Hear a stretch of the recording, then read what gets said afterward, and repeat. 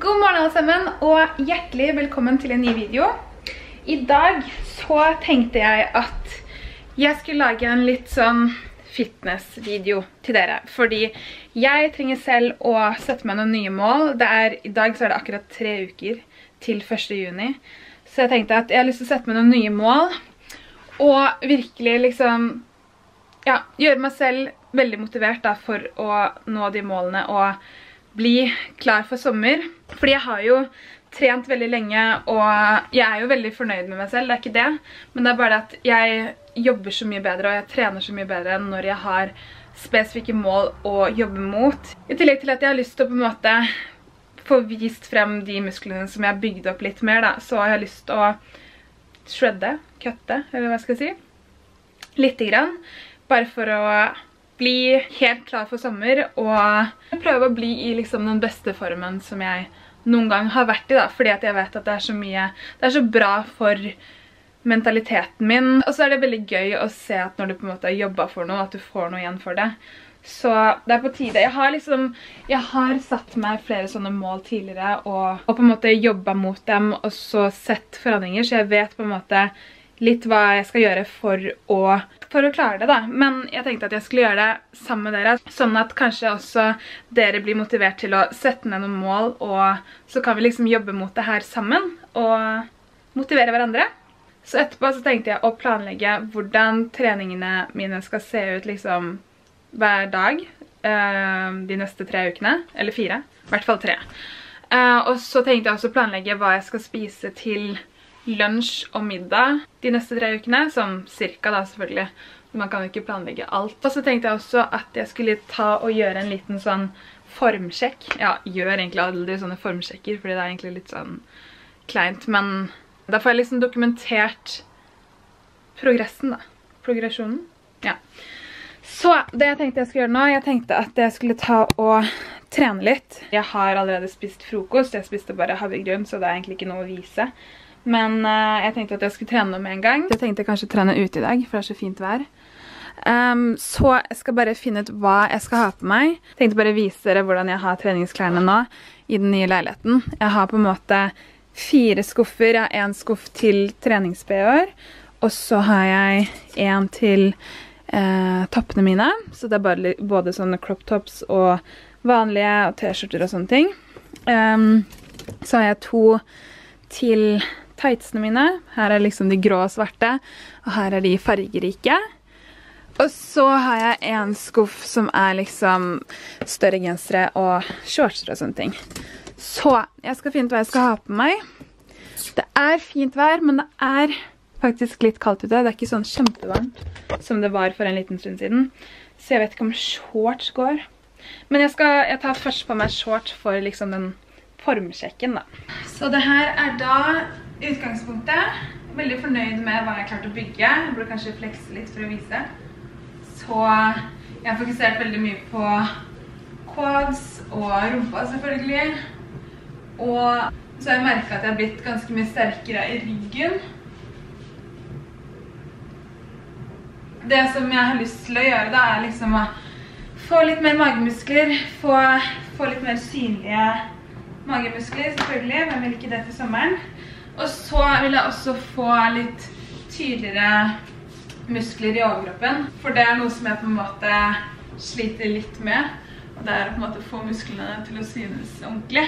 Jeg kommer ikke til å fokusere på å bygge noen muskler nå, jeg kommer til å fokusere mest på å på en måte fjerne litt fett, samtidig som jeg prøver å beholde mest mulig muskelmasse da. Men i hvert fall, sånn ser jeg ut nå. Og hvis noen lurer, så har jeg trent uten på en måte pauser i cirka tre år nå. Så, og da har jeg fokusert veldig mye på å bygge muskler og sånne ting. Jeg var ganske mye tynnere før. Eller jeg hadde mye mindre former da, for å si det sånn. Men ja, det var formchecken. Checken. Så nå tenkte jeg bare ta på meg noen andre klær, for jeg tror det er litt for kaldt å trene i shorts ute. Så tror jeg jeg tenker å ta en fullkroppsøkt, men på en måte med ganske høy intensitet da. Ikke, sånn, ikke fullt så intensiv som en hitøkt, men ja, jeg kommer til å fokusere, fordi jeg har lyst til å trene bein på mandager fra nå av. Men jeg er fortsatt sykt støl fra, eh, fredag faktisk. Og det er mandag i dag. Jeg skal ta litt bein i dag, men jeg skal også fokusere på litt sånn Jeg vil ha en veldig svett økt. Her er dagens treningsoutfit, og alt det her er fra Do You Even. Og det tipper jeg er sånn passe varmt nå, fordi det er faktisk ganske kaldt ute. Så ja, jeg skifter til det, og så tar jeg en treningsøkt ute i hagen.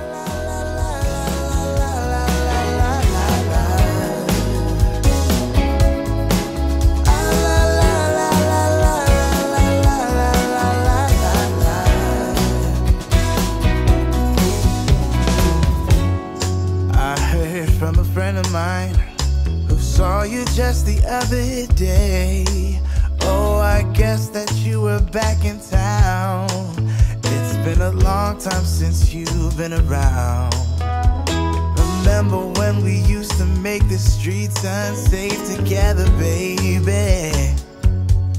We were young and foolish then. Oh, how I wish we could go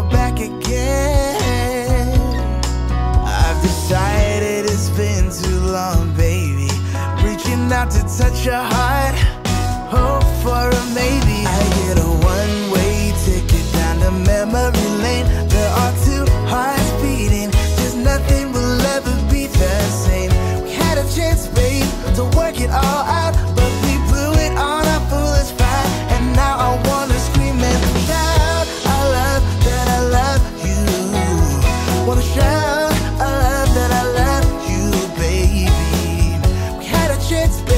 to work it all out,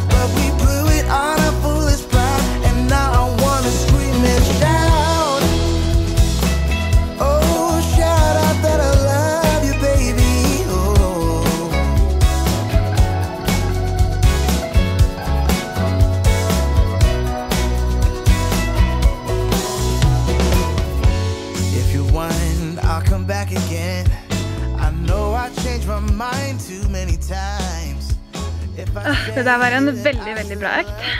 Da er jeg ferdig med å trene, og som dere så, så trente jeg bare beina, fordi ja, det bare ble sånn egentlig. Og det er det jeg liker best å gjøre uansett, og liksom dele opp, sånn at jeg bare fokuserer på en og en ting da. Det var en skikkelig bra økt, og det var skikkelig digg å få trent. Jeg prøvde på en måte å gjøre noen øvelser som gjør at jeg får opp pulsen litt mer også. Så ja, jeg tok med litt grann hopping og sånne ting, for som sagt, jeg vil på en måte øke litt intensiteten på treningen jeg har da.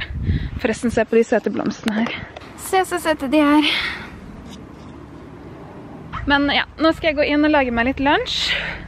Og jeg skal vise dere hva jeg spiser til lunsj. Og så skal vi ta og planlegge de kommende ukene når det kommer til trening og mat. Greit, jeg har fått dusja, og så har jeg lagd meg litt lunsj. Og det jeg har lagd i dag er tunfisk sandwich med jalapeños og tomat. Eh, og så har jeg blandet tunfisken med litt lett majones, og så tok jeg oppi litt pepper og litt limesaft og paprikakrydder. Så sånn ser de ut. Det er faktisk inspirert fra eller inspirert av Joe in the Juice, for jeg spiste en sånn tunfisk sandwich der en gang, og den var skikkelig god. Så sånn jeg tenker å planlegge ting, er at jeg, jeg lager en oversikt over alle øktene jeg skal ha en uke. Så det er seks økter totalt, er planen i hvert fall. To underkropp, to overkropp og to med cardio. Og så tenkte jeg liksom at her som det er sånn dagseksjoner, så skriver jeg opp hver eneste dag i tre uker frem til 1. juni, og på en måte fyller inn hva jeg skal trene de dagene. Og så tenkte jeg også å skrive liksom hva jeg skal spise til middag, eller hva som skal være på en måte hoved, hovedproteinet, da, som det heter, i hver middag. Så mandag har jeg skrevet kylling, vi skal ha kylling i dag. Så ja, jeg tenkte egentlig bare å fylle ut resten av de her nå, frem til 1. juni. Hope for a maybe. I get a one-way ticket down the memory lane. There are two hearts beating. Just nothing will ever be the same. We had a chance, babe, to work it all out, but we blew it on our foolish pride, and now I want. Har jeg også fått planlagt alle middagene som vi skal ha denne uka her. Eh, så sånn ser det ut. Som dere ser, litt forskjellig, eh, men alle er liksom med et type protein som er magert og har høyt innhold av protein.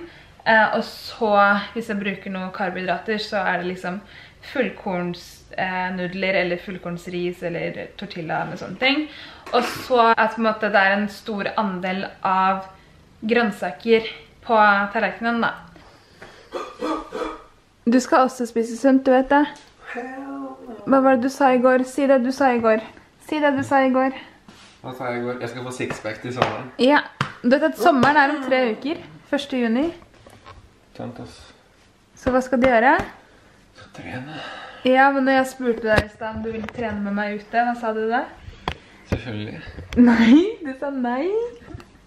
Han sa nei fordi han trente i går, og så ble han støl. Så du...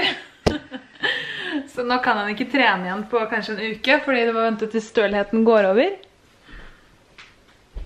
Og så har jeg liksom bare skrevet noen punkter som jeg egentlig vet, men jeg liker bare å skrive det ned, for da har jeg det liksom på papir, da, som for eksempel drikke nok vann, drikke mye vann. Um, jeg tenker kanskje å drikke liksom tre sånn her om dagen.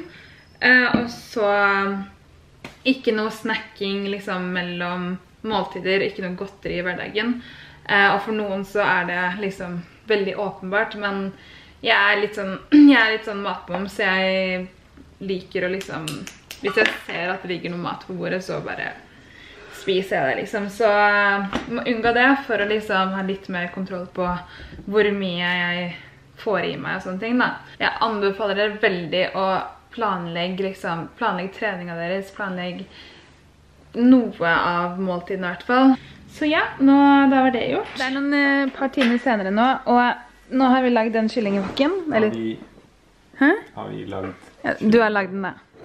Så her er dagens middag. Kyllingvokk med grønnsaker, fullkornsnudler og teriyaki-saus. We just let the days pass by. People would tell us to get a grip of ourselves and get a job. We didn't care what we were told, cause when we were younger, we used to sit on the grass and go, damn, I don't wanna grow old. I wish I could turn back time. Men Det er tid for kveldsmat, og som dere så, så var vi nettopp ute og gikk en tur. Jeg og Eduardo har satt som mål å gå en liten tur hver dag for å få inn litt flere eh, skritt. da. Så i dag så ble det 8000 skritt cirka, og jeg prøver jo på 10 000 skritt hver dag, men sånn som i dag så har vi egentlig bare vært hjemme, vi har ikke gjort noe spesielt. Men ja, nå har jeg i hvert fall lagd litt kveldsmat til oss. Jeg skal ha maiskaker med litt ost og cottage cheese og litt blåbær. Og så lagde jeg en smoothie av den safta her, liksom blandet ut med vann. Eh, det er orange og mango, og den her er helt uten sukker og kalorier. Så jeg bare blandet den med vann, og så blander jeg med fryste bær, en sånn der smoothie-pose som er liksom med jordbær og bringebær og banan og sånne ting. Eh, så ja, det skal vi kose oss med nå i kveld. Jeg satt nettopp der og drev og spilte litt på piano, fordi det er en sang som jeg har fått skikkelig dilla på, men eh, jeg vet ikke om jeg tør å vise den til dere. Jeg kan kanskje vise den senere, når jeg har øvd litt mer. Men nå tok i hvert fall Eduardo over. Jeg aner ikke hva han skal. Men han spurte om han kunne få lov til å spille litt.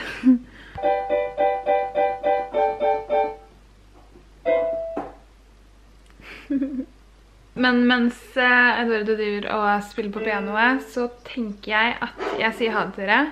Eh, Men jeg håper at denne vloggen motiverte dere til å sette dere noen mål og virkelig bli klar for sommeren selv.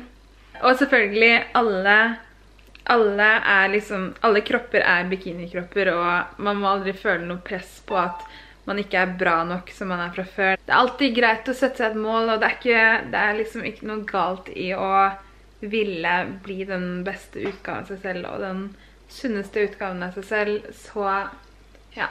Og som sagt, la oss motivere hverandre, så hvis noen av dere tenker å gjøre det samme, og også liksom ha den der tre uker challengen frem til 1. juni, så, si, så la meg få vite det. så kan vi liksom heie på hverandre og støtte hverandre i å gjøre det her. Jeg tenker at jeg sier ha det til dere nå. Tusen hjertelig takk for at dere så på videoen her.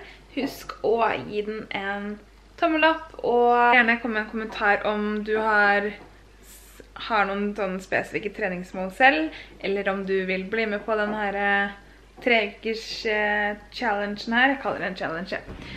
Men eh, ja, tusen takk for at du så på videoen. Vi ses i neste. Snakkes. Peace.